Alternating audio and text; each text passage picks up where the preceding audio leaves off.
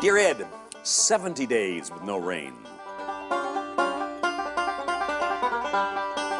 It's picking up pestiferous telluric emanations.